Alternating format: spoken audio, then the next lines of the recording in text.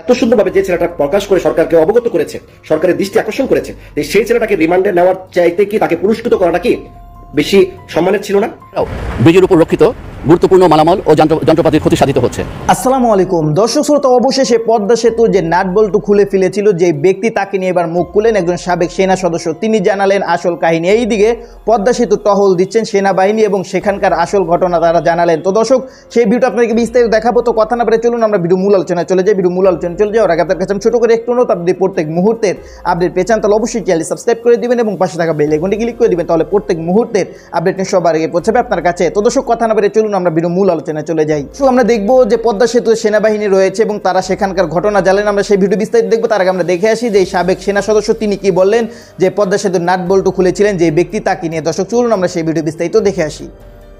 এখন প্রত্যেকটা টিভি নিউজে এবং প্রত্যেকটা মিডিয়া চ্যানেলের সর্বপ্রথম হেডলাইনে দেখা যাচ্ছে, বাইজিৎ নামে একটি ছেলে, নাট বল্টু।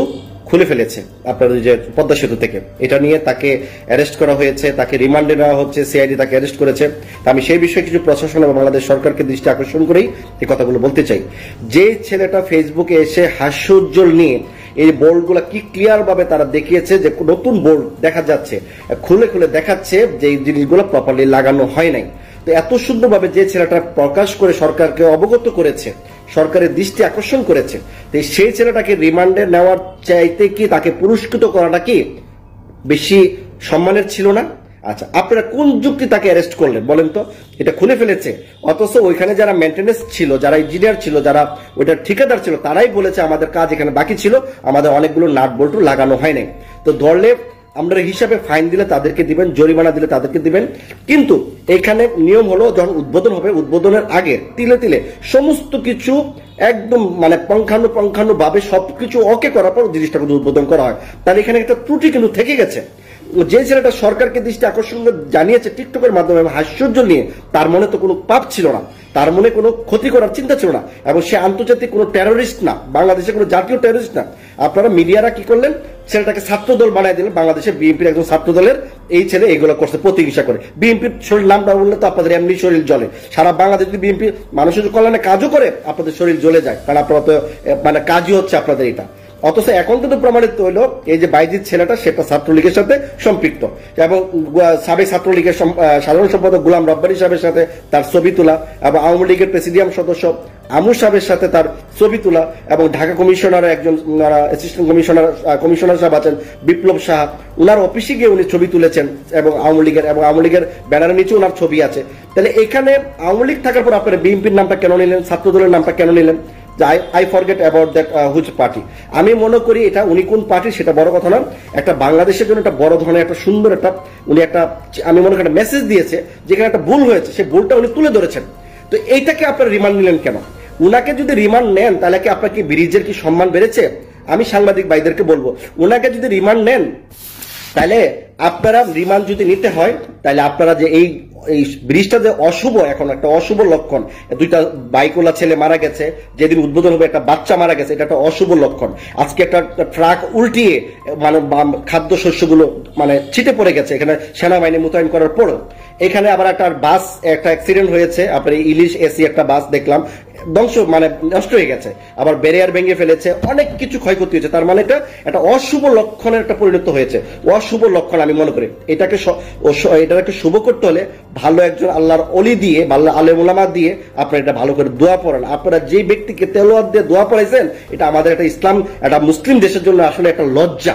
সারা বিশ্ব যখন দেখব এমন একটা ব্যক্তি কোরআন পড়তেছে, তার কোনো গলার সুর নাই, মনে হয় যে একটা ভাঙ্গা গলা জারি গান গাচ্ছে, এমন একটা মনে হইতেছে। এটা কি কোরআন তেলত বলে?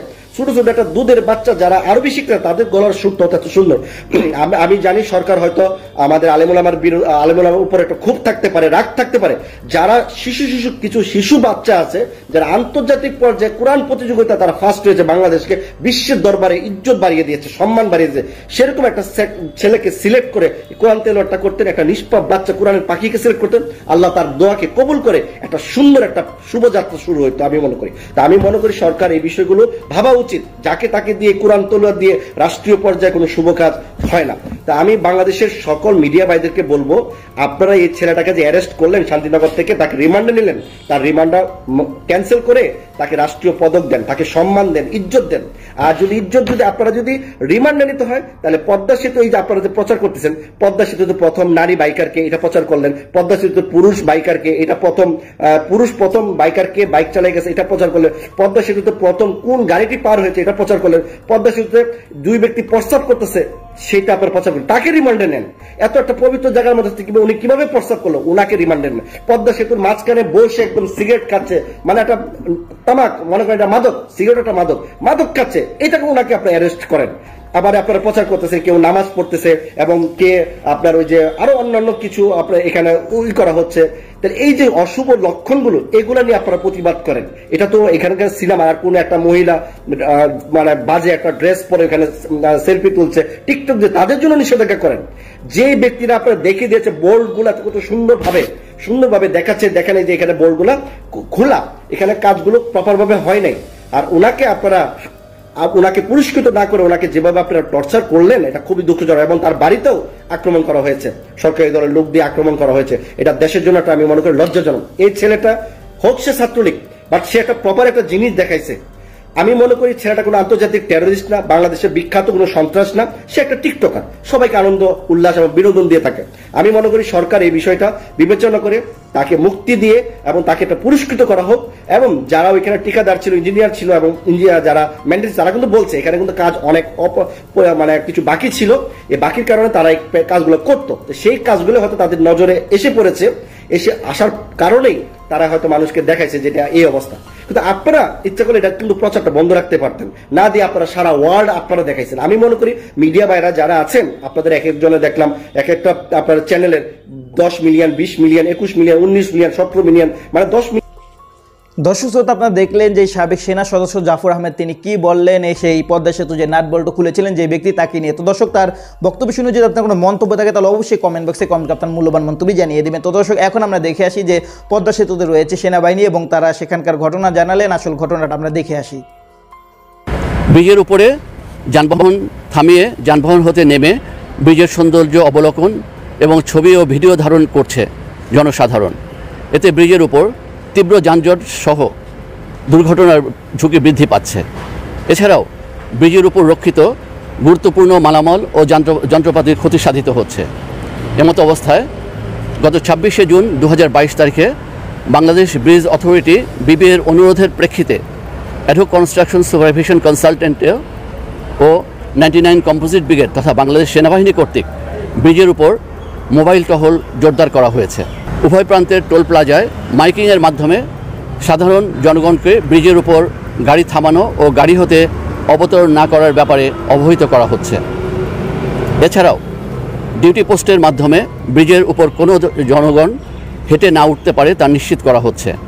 আমি সকলকে জানাতে চাই, স্বপ্নের পদ্মা সেতু আমার দর্শক শ্রোতা, আপনারা দেখলেন যে সেনাবাহিনী, তারা এই টহলে আছেন সেই পদ্মা সেতুতে এবং সেখানকার ঘটনা তিনি, তারা জানালেন। তো দর্শক, এই সম্পূর্ণ ভিডিও দেখে যদি আপনার কোনো মন্তব্য থাকে, তাহলে অবশ্যই কমেন্ট বক্সে কমেন্ট আপনার মূল্যবান মন্তব্য জানিয়ে দিবেন। তো কথা বলতে বলতে আমরা ভিডিও শেষ পর্যায়ে চলে এসেছি। ভিডিও এখন শেষ করে ভিডিও শেষ করে আপনার কাছে আবার করছে, আপনি যদি প্রত্যেক মুহূর্তের আপডেট পেয়ে চান, তাহলে অবশ্যই চ্যানেল সাবস্ক্রাইব করে দিবেন এবং পাশে থাকা বেল আইকনে ক্লিক করে দিবেন, তাহলে প্রত্যেক মুহূর্তের আপডেট সবার আগে পৌঁছাবে আপনার কাছে। তো দর্শক ভিডিও এখানে শেষ করি সবাই ভালো থাকবেন, সুস্থ থাকবেন। আল্লাহ হাফেজ।